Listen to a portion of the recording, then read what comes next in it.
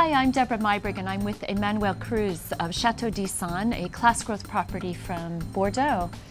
Emmanuel, you were mm -hmm. destined for the wine business, but you studied law, you play hockey, you hunt, you sail, you play tennis. I try to do a lot How of do you things. fit it all in?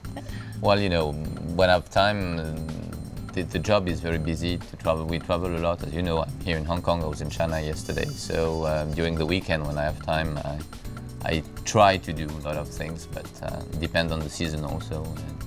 sailing is more during the summer season, hunting during winter, and playing hockey or tennis when I can.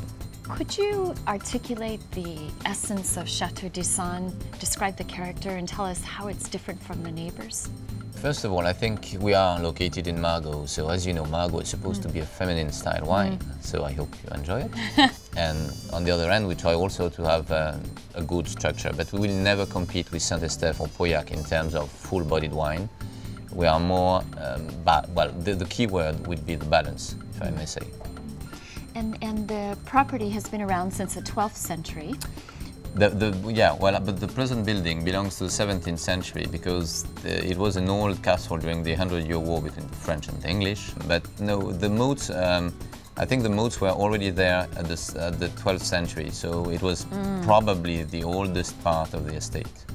Um, but um, so far, I think um, it's only for decoration. They are still full of water, but uh, we don't use it anymore against uh, any enemies. So the 12th century history, how mm -hmm. does mm-hmm. that put pressure on you as, as the person who's responsible for the image of this property now?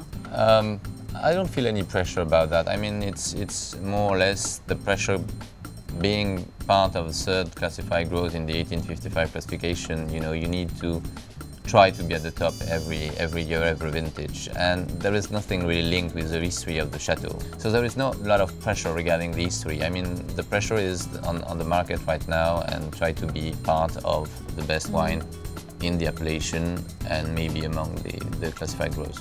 In terms of this wine, mm -hmm. could you describe the tannins? This is the 2001.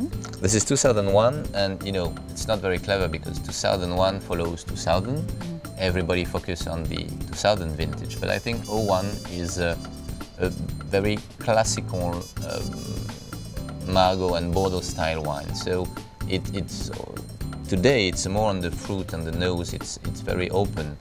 There is a good good um, balance between the, the, tannins from the fruit and the tannins from the wood, but it's not a, a huge wine. It's not a massive one. It's more delicate and um, so far balanced. Um, I think it's a wine that needs to be decanted almost two or three hours before drinking.